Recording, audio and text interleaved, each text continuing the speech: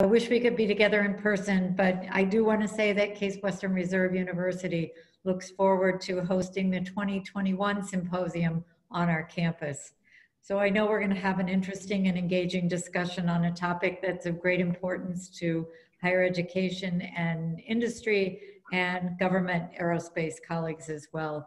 According to the Aerospace Industry Association, aerospace and defense systems represent $143 billion in exports annually, and the $86 billion trade surplus is the largest of any US industry. It's truly an economic powerhouse and a major part of keeping the United States globally competitive. And within that context, it's not surprising that four of the top five states with the largest aerospace employee populations also have a NASA research facility with California, Washington, Texas, Alabama, and Ohio in that top five. And every one of those NASA centers is close to a major academic research institution. I'm proud to be able to tell you that. The landscape is changing though, and we need to be prepared. The pandemic and aging workforce are just two of the challenges facing the aerospace industry. We know that innovation emerges from places of diversity and interdisciplinarity. So we're looking for answers to the question of how we can leverage this opportunity to help academia work more effectively with aerospace partners, both in government and in industry. So we're going to talk about that and some other things as well. And I want to introduce our panelists. First, Steve Jurczyk, who is NASA's Associate Administrator. Steve began his career at NASA in 1988 after graduating from the University of Virginia with bachelor's and master's degrees in electrical engineering. His previous roles at NASA included serving as director of Langley Research Center and most recently as associate, associate administrator of the Space Technology Mission Directorate. In that position, he formulated and executed the agency's space technology programs, focusing on developing and demonstrating transformative technologies for human and robotic exploration of the solar system in partnership with industry and academia. We are also joined by Lisa Callahan. Lisa is Vice President and General Manager of the Commercial Civil Space line of business for Lockheed Martin Space. She's responsible for all aspects of the commercial and civil markets in human and robotic deep space exploration, communications, weather, and remote sensing. She's held a number of leadership roles at Lockheed, including Vice President of Corporate Internal Audit, Vice President and General Manager of the Mission Systems and Training Undersea Systems. She graduated from Virginia Tech with a bachelor's degree in electrical engineering. And our third panelist is Colonel Eileen Collins. Colonel Collins was a U.S. Air Force Academy uh, faculty member in mathematics and a T-41 instructor pilot. She was selected for the astronaut program while attending the Air Force Test Pilot School at Edwards Air Force Base in 1990. During her 16 years at NASA, she held a variety of roles, including spacecraft commander, I'm sorry, spacecraft communicator, shuttle branch chief, and astronaut safety branch chief. In addition, as a veteran of four space flights, she's logged 872 hours in space and the only woman to have served as commander of a space shuttle mission. She received a bachelor's degree in mathematics and economics from Syracuse University, a master's degree in operations research from Stanford, and a master's degree in space systems management from Webster University in retirement, if you want to call it that. She serves on the National Academy's Aerospace Science and Engineering Board. I want to ask each of our panelists to talk a little bit about the work they've been doing in this area and remind everybody in the audience that you're welcome to begin asking questions through the chat function. And we will get to those questions after we hear from our panelists and have a few questions from the moderator, moderator's prerogative. Steve, would you like to start? Sure, Barbara. Thank you very much. Uh, it's good to be here today to be on the panel, talk about workforce and education. So at NASA, like most aerospace R&D organizations, our capabilities are our people, our facilities, and our computational tools, methods, and capabilities. And so we've embarked on transforming all of those aspects of our capabilities over the last five, six years. Um, and with a focus on how, on the workforce side, on how we recruit, uh, retain, and develop our workforce and our and the skills of our workforce to be able to meet the demands of the mission, the current missions, as well as the missions of the future. Um, so that's been a real focus area for us, and um, you know that involves you know examining culture, examining the way we train and develop, and examining the use of technologies and how we use technologies, including digital technologies, which are part of what we're looking at on the computational side in, in, a, in a digital transformation initiative that we recently stood up. So lots to do on the workforce side as technologies evolve, as the way we work evolves. And we do have an aging workforce. Um, like a lot of aerospace organizations, I was kind of hired in at the front end of uh, a hiring wave in the 1980s going into the early 90s. So my cohort, I'm the I'm the uh, elder statesman of that group. So we're starting to think about what we're going to do in the next phases of our life, and so we need to have a strategy for succession planning, which we are uh, putting a more structured strategy in place. On the education side, you know, the, the lead for the agency is the Office of STEM Engagement. Um, they put a strategy in place and a framework in place, and they manage some programs for us um, uh, at the with uh, our intern program as well as our university programs. But as important, they work with the other mission areas: aeronautics research, space technology, science, and human exploration operations to make sure we have an integrated set of edu- education activities across the entire agency. So, for example, in science, all our science missions have a component, an education and outreach component, and we engage, uh, you know, mostly university uh, undergraduates, graduates, and even postdoctoral uh, folks in those programs. And then in space tech and aero, we have some university-focused research initiatives um, and in human exploration, we're re- really using the International Space Station as a focal point to engage uh, students K through 12 as well as um, at the university level. Um, so lots going on, and I look forward to the uh, the questions. So thank you very much. Thank you, Steve. Lisa, let's hear from you. Thank you.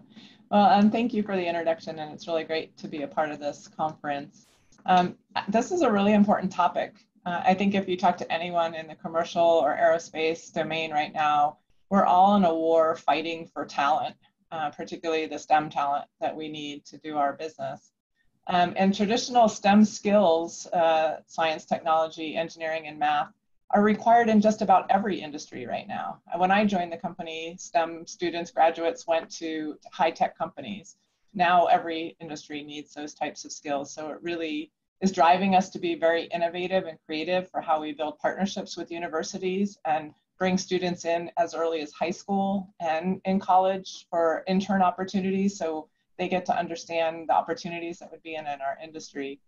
But it also provides us with an opportunity to think about leveraging other degreed candidates where they bring different skills and experiences because they've grown up in a high tech world using technologies and they can play a role in our workforce as well. So I'm really excited to talk about what we're doing at Lockheed Martin, as well as what the larger aerospace industry is doing to meet our workforce needs. So thanks for having me. Thanks, Lisa. Eileen. Yeah, well, thank you for the opportunity to speak today. I wanted to talk about or just give you an idea of what I'm doing right now with the National Space Council. I'm an advisor to the National Space Council. And I think uh, most folks know what it is, but just briefly, the National Space Council is a cabinet level council chaired by the Vice President Mike Pence. And some of the members are, uh, for example, the Department of State, Department of Defense, Transportation, Energy, the NASA Administrator, and many others. Their job is to coordinate space policy on a national level because it covers so many uh, different disciplines. So they have asked for an advisory group, which we call the user advisory group, and it's made up of six committees. We don't have any power to actually do anything. We just advise the National Space Council. so I'm here today as the chairman of the Education and Outreach Committee of the User Advisory Group. And I wanted to give you an idea of uh, what we do and what specifically we have been doing over the past six months or so. So We have a mission statement. It's twofold. The first one has to do with education, which, as you would guess, is basically recommending ways to improve our country's education system to support the future space workforce.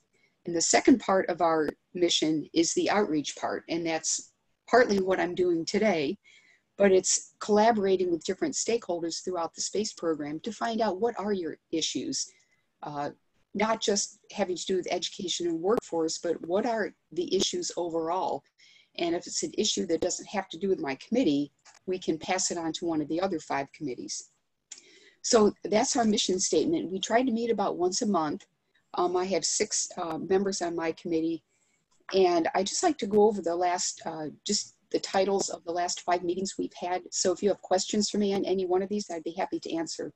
Um, our uh, first meeting this uh, half of the year was with the National Science Foundation uh, Director for Education, Karen Marrongelle. She talked to us about a study that was published by the National Science Board in September of 2019 called the Skilled Technical Workforce. And you can look that up if you just Skilled Technical Workforce National Science Board, that report will come right up and you can see what some of the issues are that they've identified. Um, our next meeting was in April and it was with two US representatives, uh, Jim Banks from Indiana and Andy Kim from New Jersey. Uh, one's Republican, one's Democrat. They submitted a bipartisan bill called the STEM Corps Bill. And you can also look that up. And if you have questions on what the STEM, I'm not going to go into it now in my opening statement, but if you're interested in what that bill is doing, I'd be happy to uh, answer that in the questions later. Our meeting in May was with Arizona State University and uh, President Michael Crow. And the reason we wanted to speak with him was one of our number one issues on the committee is why is there such a high dropout rate in the universities across the country of first year engineering students? Um, it's almost a tragedy. Some schools have up to, you know, 50% of their engineering students decide to leave engineering and go to some other field of study. And why would they be doing that when, you know, initially their passion was engineering and something along the way made them change their mind. So he had a very successful program of retention. Over 90% of their students uh, stay in engineering. So we uh, wanted to talk with him about what was successful. And again, I can answer questions on that. In June, we talked to Space Camp. Um, we wanted to find out, you know, what is going on along the uh, um, elementary, uh, junior high, high school level. Uh, their director of uh, vice president for education and vice president for marketing and strategic development.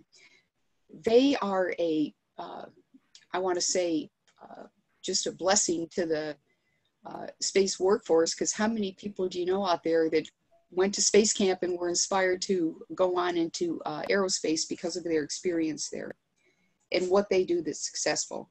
And then this month, actually, this will be tomorrow, we're talking with Dr. Vic McCrary from the National Science Board on historically Black colleges and universities and their contribution to STEM, specifically uh, the space workforce. The user advisory group has a public meeting July 30th that uh, you're welcome to join.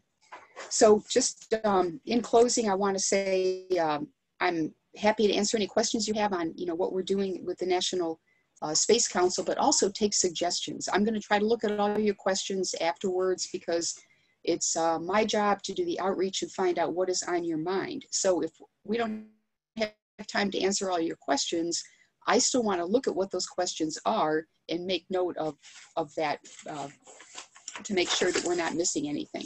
Thank you very much.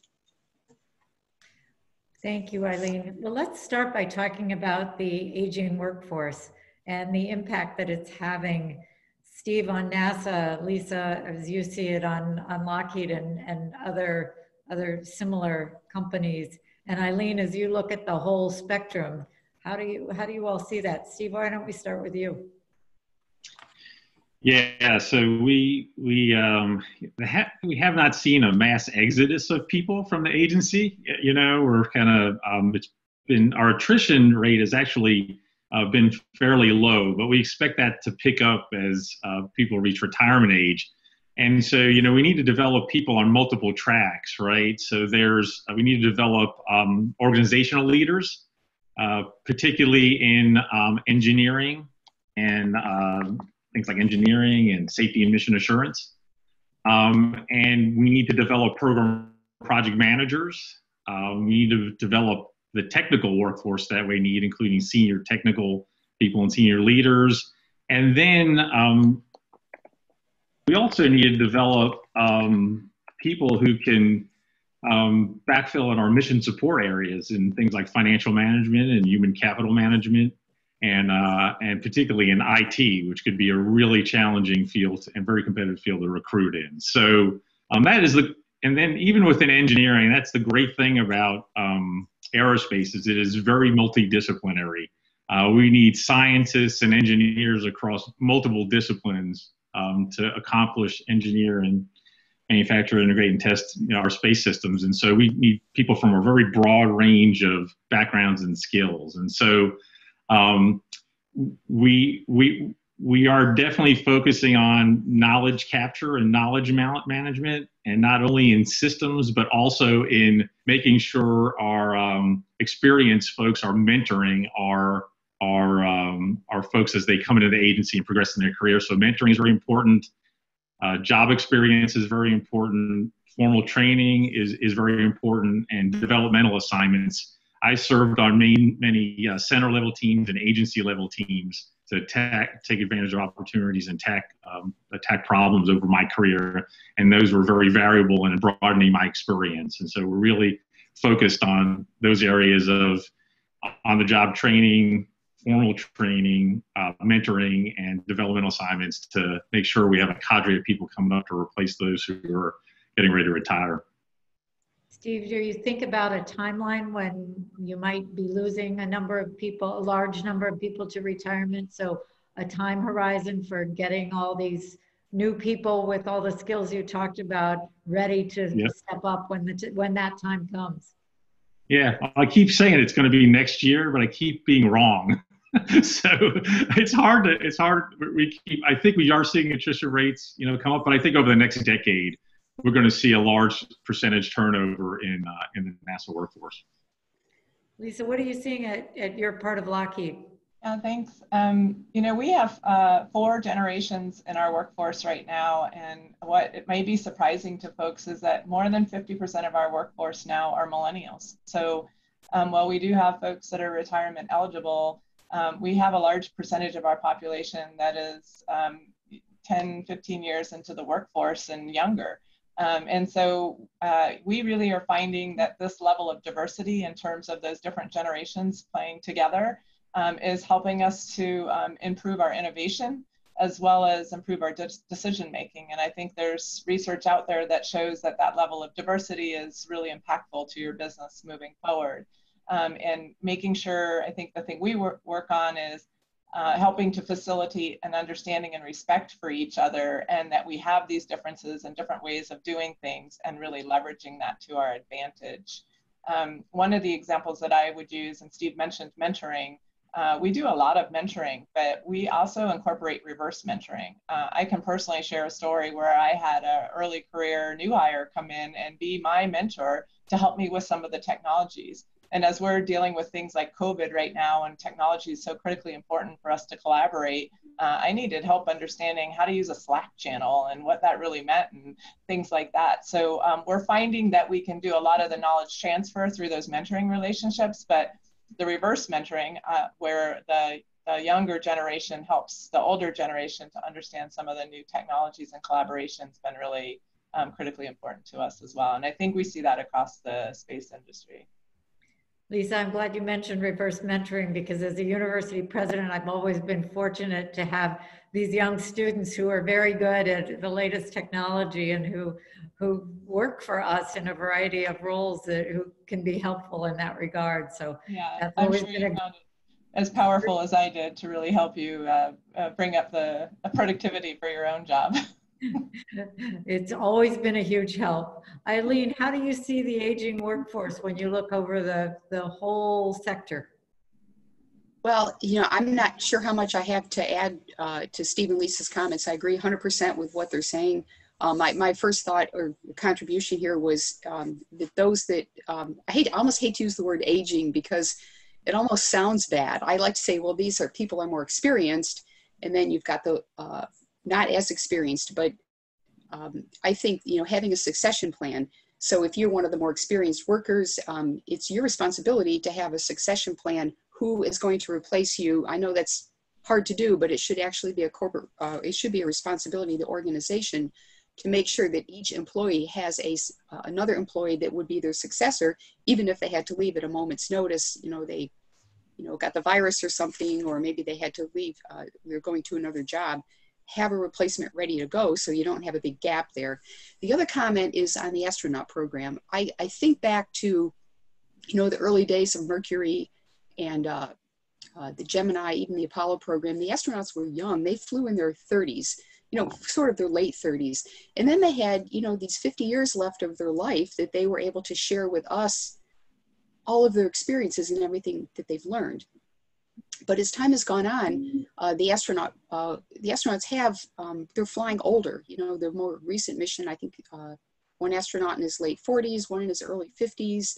So, you know, we've had the aging workforce, I want to say, in the astronaut program also and i think it's i think it's important that we get the young people up in space too because whether they stay at nasa or go work somewhere else having that experience of been in space you have all this road ahead of you where you can contribute either in private industry or in the government or in academia um, but that's my that's just a personal opinion um, but nasa likes to fly the more experienced astronauts i think because every mission seems to be more important than the last one so I like your point about not referring to aging, but referring to the more experienced. I, I in fact, I, am liking it better every day.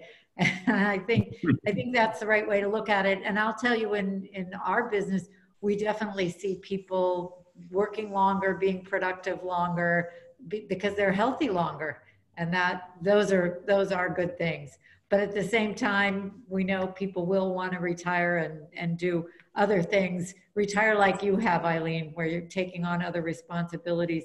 So we've talked about generational diversity, but I do want to talk about diversity in, in other ways as well. So in an industry that has not been as, as, um, as, as a great a place for women, for, for people of color to go, that is changing, at least we see it changing a bit. Lisa, from your perspective, how do you see that in industry. Is it changing and is it moving fast enough? It's definitely not moving fast enough. I'll just start with that. Um, you know, I think if I, I won't tell you when I started, but if I go back to when I started um, with that great experience I have, not age, um, there weren't a lot of women in the workplace. I, I, it was not unusual for me to find myself as the only woman in a room at a time. So that has definitely improved. Um, but I would argue we've stalled out I think women represent about 23% of the aerospace industry right now. Um, and, you know, we represent 51% of the population. So that doesn't really seem like um, it's moving as fast enough as it needs to. And people of color um, is even a worse statistic. So, um, you know, in industry, what we've had to do is we talked about partnering with universities, um, particularly partnering with those um, uh, lower represented uh, universities, uh, uh, universities that, that specialize or have relationships with people of color and really helping to try to recruit those. But, but candidly, um, to retain those people, you have they have to be able to feel like they're a part of that workforce, right? They have to feel comfortable in that workforce, that their uh, voices are being heard, and they they need to be able to look up and see themselves uh, and the growth opportunities that are there. So we've had a tremendous focus on diversity and inclusion and really trying to um, look to improve those numbers over time with those relationships with the partnering, but also um, in programs that we do uh, internal to make sure that our leaders understand the importance of diversity, understand what it means to have privilege, and making sure that all, everybody's voice is heard and people can bring their whole self to work when they come. So we're seeing that improve and the retention numbers are improving. We just now need to get the pipeline to continue to grow so we can increase those numbers. We, we need to do more. And we've got a responsibility in there too to try to bring that pipeline to you. And Steve, to you, what's going on in NASA in this regard in terms of diversity of the workforce? I'm sure you've seen some changes over over the years of your career there. Yeah, I would. Uh, I've seen changes definitely, but I would with Lisa. Um, I would like to see the change pick up. I don't think we're moving fast enough to have a, a, a diverse workforce. You know, a workforce that um, at least represents the relevant, uh, you know, the relevant civilian labor force. Um, you know, as we compare to other like organizations, but eventually one that mirrors society in general. And so we have work, we absolutely have work to do there. Diversity and inclusion has been a focus for our leadership team. Um, it's in all our performance plans every year and all my direct reports, you know, center directors and associate administrators, they have to tell me what they've done over the previous year with their teams to advance diversity and inclusion. Now, a couple of thoughts. I mean, first, um, you know, there is this thought out there that science, technology, and engineering and math is hard and it's not for everybody and there's some stereotypical type person that could be successful in stem and we really do need to break that down um, you know i was just totally incensed when my uh, daughter's middle school math teacher you know had kind of pigeonholed her and told her she was not good in math and she would never be good in math that just drives me crazy that a teacher would tell that to any student particularly a female student right um, I don't know if it was conscious bias or unconscious bias, but you know, and then she got it in her head that she wasn't good at math, and I had to try to overcome that. You know that. So I think we really need to to um, give a sense to students as they come up that they can see a future in STEM. It's hard, but they can do it. They absolutely can do it. And and I think in that regard, role models are really important.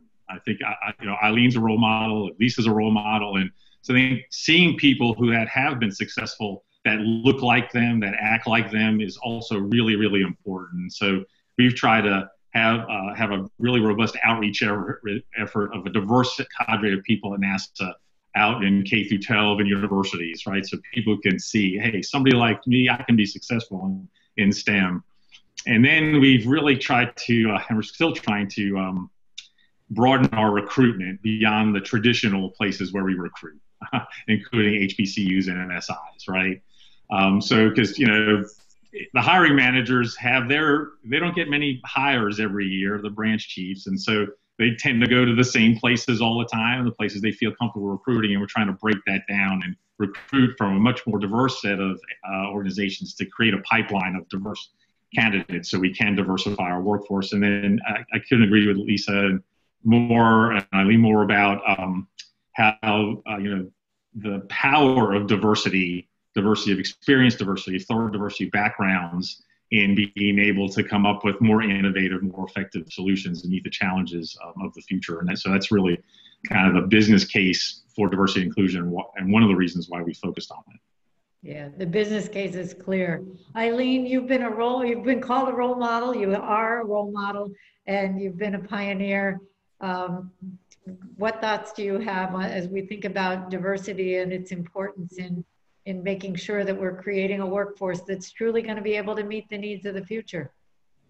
Yeah, so I think, you know, it's all about problem solving. But let me say, first of all, Steve hit a chord with me when I hear somebody say to a boy or a girl, you're not good at math. I just, I, I, it just really upsets me.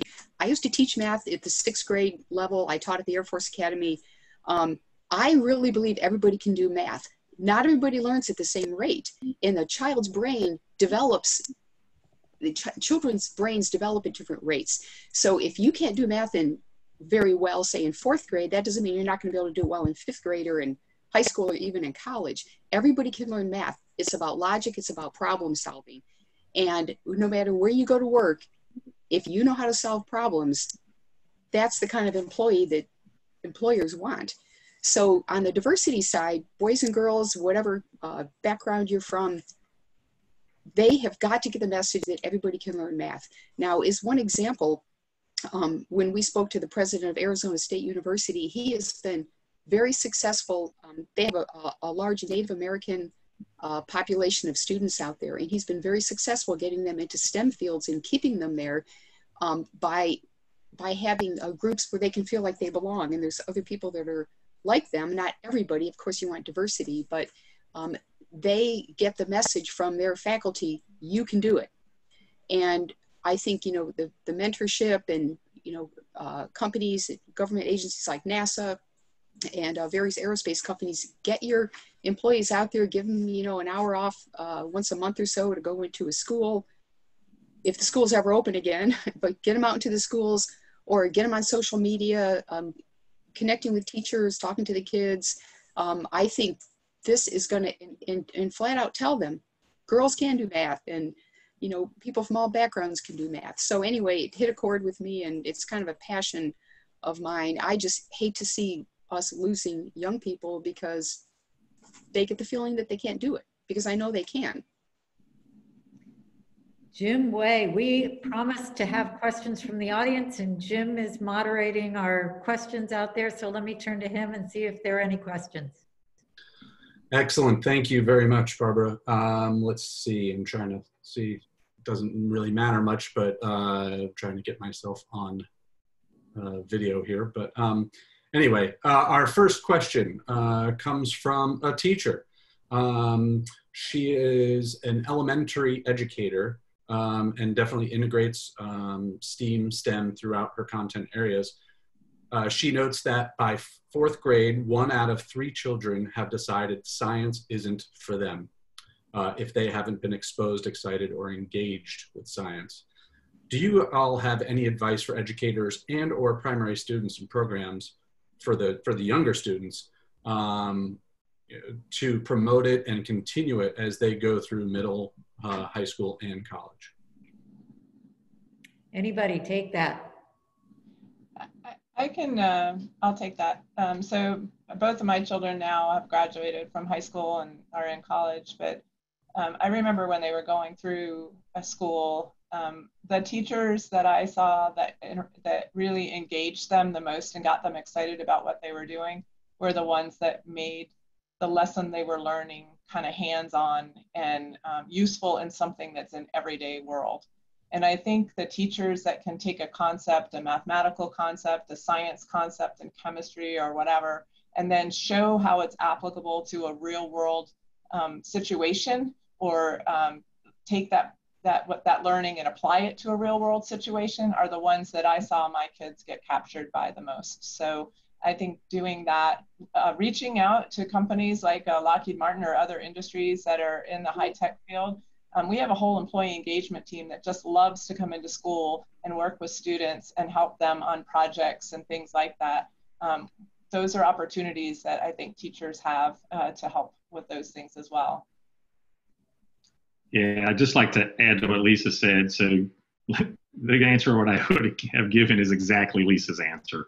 Is people that show uh, teachers who show how to apply math and science tend to get the most um, enthusiasm from students. And so in our Office of Education, we have a whole set of lesson plans for teachers, um, K through 12, that they can utilize in the classroom that take some of the aerospace you know, problems and challenges and breaks them down to the right level and allows you to teach science and math um, and show how it's applied and used. And so there are resources. NASA does have, the Office of, of, of STEM engagement does have resources out there for teachers K through 12. And if, if, I could add to that, I'm a big promoter of reading books. I know it, it might sound like it's old fashioned to read books nowadays, but if these kids can read, get lost in a book on science fiction or, um, you know, even watching movies, getting them, you know, seeing something in, you know, reading something, using their imagination, that's how I got interested. Um, I used to read fourth grade. In fact, I remember my mother taking me to the library when I was a little kid, and I just checked out books on all kinds of science, and that's how I got interested. So might sound a little bit old-fashioned, but I think if, and, and I think it's okay for the kids to have screen time, but I think they can maybe diversify it a little bit with with books.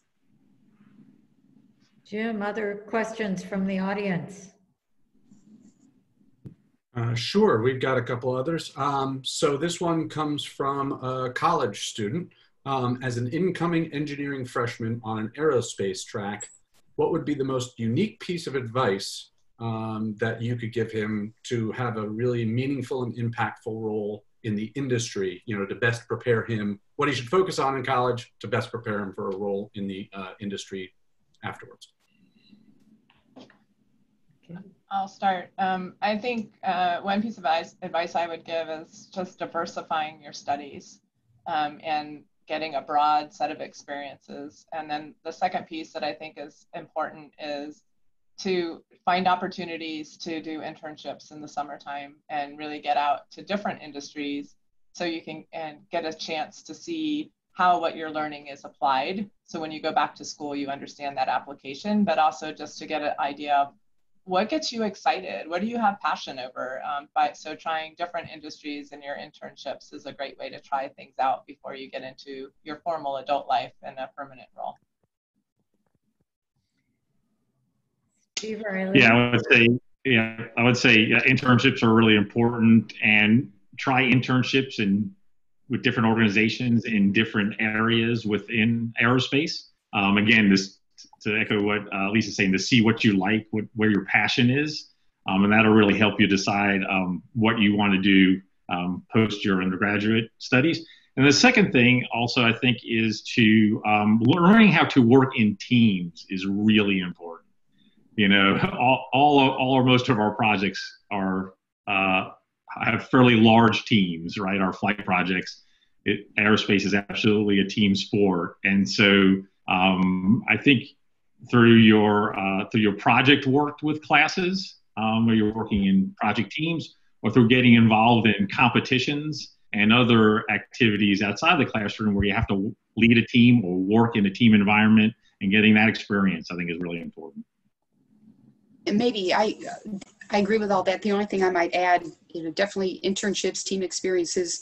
Um, don't uh, discount using your professor or assistant professor um, back when I was teaching at the Air Force Academy, I have students come up to me after class and, ma'am, I don't understand this, or, you know, why are we learning that? Or, you know, just take advantage of your professors. Some of them, they like to hide out in their office. I, because I know people do that and they keep their doors shut. But try to catch the professors and, you know, they need to get feedback from you on the way the students are perceiving the classes that they're taking. And that was the only thing I, I have to add. Great comments, all of you. Let's talk a little bit about the skills gap because we read about that from time to time. Is there a skills gap? Do you see it with employees? Do you see it more with the younger people coming in? And if you see it, where is it? Those of us who are in education, we need to know so we can help address it with you. Uh, maybe I can jump on that one, a skills gap. I just say right off the bat, um, cyber skills data analysis. Um, from what we're seeing, um, there's a there's a shortage of this. I would say in aerospace and in the Department of Defense. I think a lot of folks with the kind of skills that will be used in the future for artificial intelligence and and that uh, type of futuristic uh, innovation that we're doing, a lot of them go to uh, private industry where maybe they can be paid more or maybe they're just recruited harder. Um, I, I'm not promoting the STEM Corps bill. I'm not really in a position to do that. But the STEM Corps bill that was that is in Congress right now would actually pay for two years of college education for students to get these skills where there's a, a big gap in our country. And, but then they would have to work four years for the Department of Defense afterwards. So um, that's my short answer. I'll turn it over to Lisa or Steve. Yeah, I would I would agree with you, Eileen. I think um, cyber is definitely a skills gap that we're seeing. Um, we can't hire enough cyber engineers, uh, and then um, the same as what you said in terms of um, AI, analytics, autonomy. Um, that's a, a, big area for the future. I think that we'll see across everything that we do. Um, those would be two big areas that I would highlight. Steve, what do you see at NASA? Yeah, the only thing I would add is um, so yeah, in aerospace, uh, so there, there, are a lot. There's lots of work being done in autonomous systems, right, um, across all industries. Uh, and the one and the the one challenge we have there is to develop folks who have the skill to develop very highly reliable autonomous systems. And how we test and verify those systems is very challenging because a highly autonomous system gets very complex and sort of non-deterministic and then our classic methodology for verification and validation of those systems is does, does doesn't work you know to just run test case after test case after test case there are just too many branches in the in the autonomous logic to, to, to validate the system. So there's a bunch of different you know skills around that that we need to develop not for not only autonomous systems but how do we make these autonomous systems very highly reliable um, because we need we need the high reliability both in um, uh, air you know aviation systems as well as in space systems. Um, we all we seem to need the combination of um, science engineering and uh, uh, artificial intelligence and machine learning.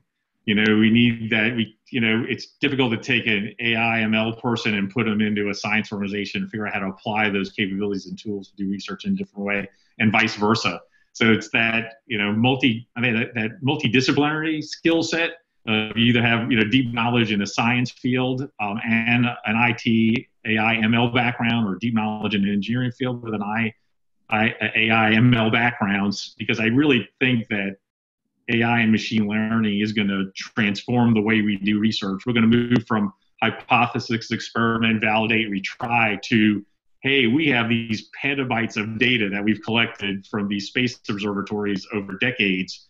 How can we use AI and ML to just mine that data and make discoveries that are data driven versus, uh, you know, hypothesis and experiment driven? Jim, let me come back to you. Those are all great comments. Thanks to all of you. Jim, I want to give the audience more time to ask questions of these great panelists. Yeah, sure. Um, so uh, our next question uh, comes from somebody named Gabrielle. Um, how do NASA, private companies, and academia view the education level of uh, students? So are students with bachelor's, master's, or PhDs, you know, is anyone more necessary than the other for the near-term workforce? Steve, you want to start with NASA? Yeah, I'll, I'll start on that. See, it depends on um, what you want to do and where you work at NASA. Um, so in science research and engineering research, um, you know, we tend to look more for PhD students or PhD candidates. Um, hopefully, they've come up through an internship or a, um, a, a, fellowship, you know, at NASA. So they get to know NASA and see what how they fit in at NASA, and we get to know them and make sure that we place them in the most appropriate roles. So if it's on the research side, it tends to be um, tends to be PhDs. But on the on the engineering side, working on a say a flight project, um, a bachelor's, you know, we hire a lot of folks with bachelor's degrees uh, and they come out and they get um, you know great experience on projects, and then they decide whether that project design, manufacturing integration, and test project based work is where they want to head, um, and they might get a, a, master's in their discipline or maybe a master's in systems engineering. Um, or they decide maybe, hey, research is for them, and we can support them in going back and getting an advanced degree, a master's, or a PhD. Um, so it really depends on um, you know what they want, what they want to do, and where we have the need at NASA because we do everything from basic research to you know building, flying, and operating uh, you know um, very complex space systems. Lisa, what do you see at Lockheed? Yeah, I, I, would say it mirrors exactly what Steve just said. I think um, in some of our advanced technology labs where we do a lot of early on research, we tend to hire those with masters or PhDs, but I would say the predominance of our college hires are, are just bachelor degrees.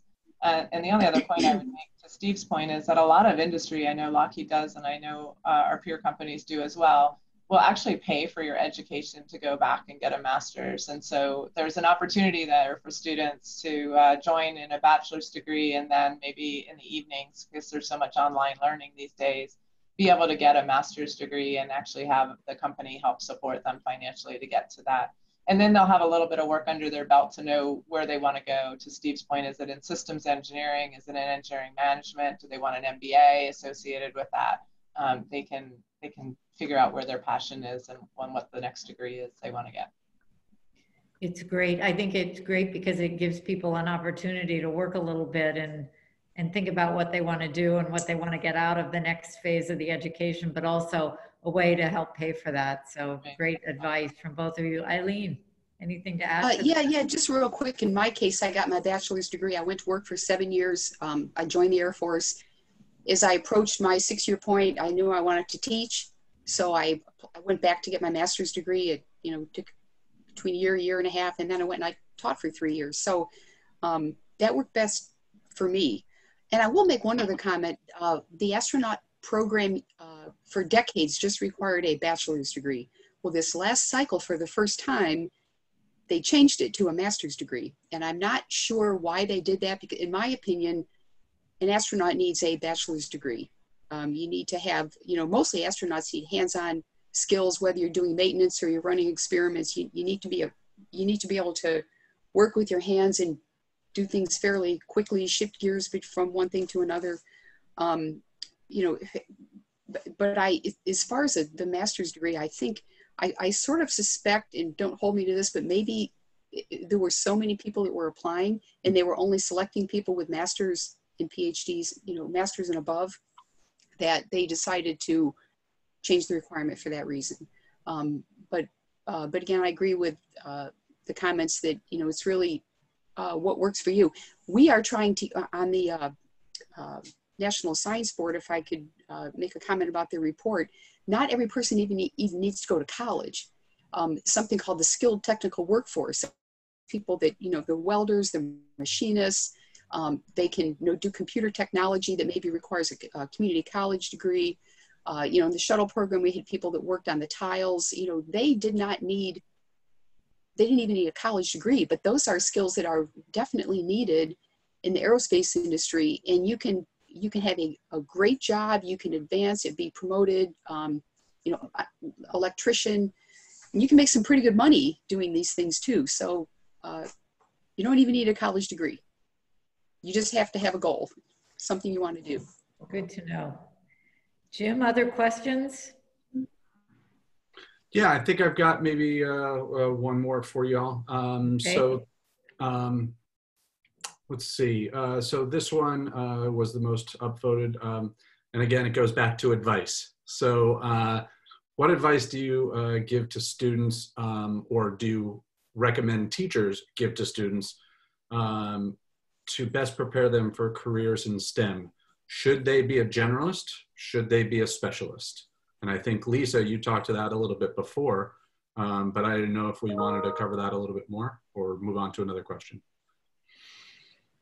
Yeah, I, I still stick by my answer. I think um, I, I think getting um, a broad education and a broad perspective on things, and then finding an area that maybe uh, is the most exciting to you and diving a little deeper into that area. So, um, but but starting off broad so you get a broad experience space and you can really see what the opportunities are and what the areas are that excite you and then diving in a little bit more into some of those areas that excite you um, even from a um, broader education perspective than just purely technical really having that broader perspective the thing that i find interesting is that there is a lot that we do and we can innovate in engineering um, but policies and other things will inhibit that from ever going to market. And so, um, really understanding um, broader than just a technology area, you can have the best technical solution, but it may go nowhere if you don't understand it from a, uh, how to communicate it, how, how, to put a business plan together, or how to um, set policies so that it could support your idea.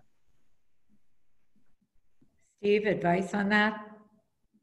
Um, yeah, I agree. You know, uh, getting a broad experience in education as a foundation, I think is really important. Even if you're going to decide you're going to be like a world recognized expert in a field, you're going to be really narrow and really deep because we need, you know, the world recognized experts in their field too, right? And uh, but that broad and foundation will help you even in being an effective expert if you go say on to be a get a PhD and be a researcher in an area.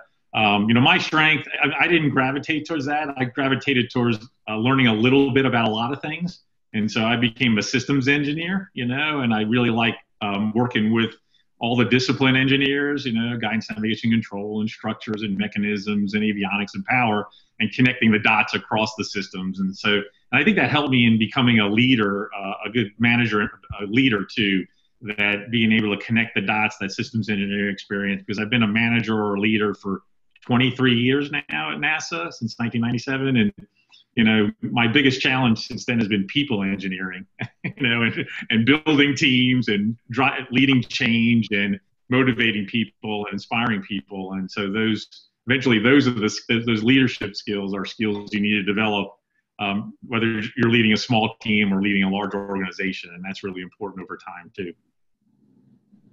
Eileen, I'll turn to you and then I'm going to let Alan ask the last question. Uh, sure. Um, yeah, I, I would say little of both, but whatever you do, you're going to start out as a specialist, most likely. If you're in college right now, your first job out of college, you're going to be a specialist. And I encourage you to know your job better than anybody else. I think it's always good advice. You become, in your first job, you'd be so specialized that your company goes to you when they need to know something. You're the expert, you're the go to person. They know your name because you are the expert in this area. And then as you go through your career, you'll become more of a generalist. So that's all I have to add. Alan, you get the last question today. All right, the last question. Uh, a, a, little um, history. Back when we were starting the uh, checkout systems in Shuttle, the senior managers, I says the older managers, the senior managers were really surprised at the need for uh, gamesman type skills. They were really surprised at how the younger generation that knew how to play video games could go in and control the software and do the software interface uh, better than they could, even though they were the senior guys were much better engineers. The younger guys were just faster and more adept at communicating with the computers. That was a really big surprise to a lot of the people around KSC at that time. So as we move forward in the different areas, have you been surprised at skills that the younger generation is bringing that you did not know that you needed, but now you find are very beneficial?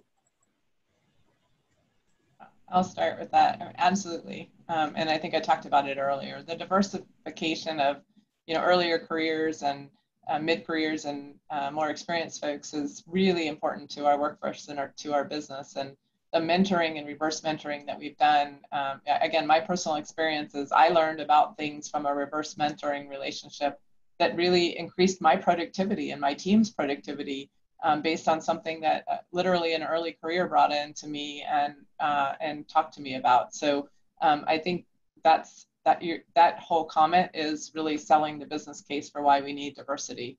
Uh, and I think there's some experienced folks that could help with um, you know the hard knocks of what they've learned to kind of shape some of those uh, ideas that the early career folks might bring in. So uh, definitely uh, some definitely a reason for why we need that diversity. Yeah, obviously, I've been really impressed with uh, early career folks who have come in with their use of digital tools and technologies because they've grown up using those their whole life. I mean, it's not something they had to come to work to learn how to use. It's been just part of their life, smartphones and laptops and and the web, et cetera. And so it's funny when you know they come to work and they don't have necessarily the tools at NASA that they had at a university or have at home, and we're starting to scratch our head and go, why is that? Why don't we have these same tools at, at NASA? And that was one of the motivations for digital transformation. The other thing I love about uh, we we have this early career initiative where we pull teams of early career people together to work on a project with mentoring, and I love that they are kind of um, uninhibited by the past, right? I mean, experience is good, but uh, experience can also hold you back with respect to pursuing an innovative idea. And they're like, hey, we have this idea, we want to build this thing. And nobody in the group says, oh, we tried that before, we shouldn't do that. They just, we just let them go and build it and try it. And sometimes they succeed and sometimes they fail, but they learn a lot. So I just kind of love that they're willing to try stuff versus, you know, me who's like, oh man, we tried that before, it'll never work, you know, and, and, and I'm inhibited because of the, the past actually, my experience actually holds me back. So I thought that's been really interesting. We are out of time. Alan, I want to thank you for pushing to have this session as part of the symposium. Eileen, Steve, Lisa, thank you for the very thoughtful contributions you made to our discussion. At Case Western Reserve, we look forward to having you on campus actually for the 2021 symposium. Thank you all. Thanks, Barbara. Thanks, Barbara.